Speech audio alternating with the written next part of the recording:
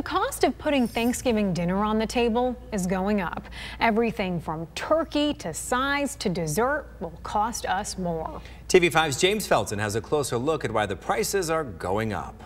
Turkey, stuffing, sweet potatoes, uh, cranberry sauce, uh, uh, pumpkin pie with whipped cream. All the Thanksgiving staples that many look forward to could end up costing noticeably more this year. Northwood University economics professor Tim Nash crunched the numbers to see how much our 2021 Thanksgiving meal will cost in mid Michigan. For a family of 10 costs if you, you know you buy it all at the store you you uh, prepare it yourself it'll be about $53.94 this year versus $46.90 last year. Nash tells us the rise in price a result of inflation. You know, the US inflation rate October to October is up uh, 6.2%.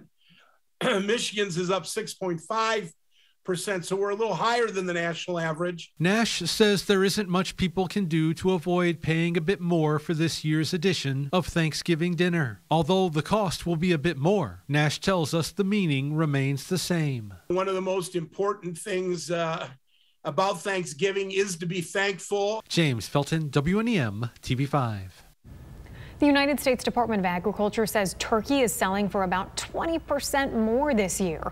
Pork is up only about 14%, and other staples are also seeing an increase, with pie crusts up 20%, dinner rolls up 15%.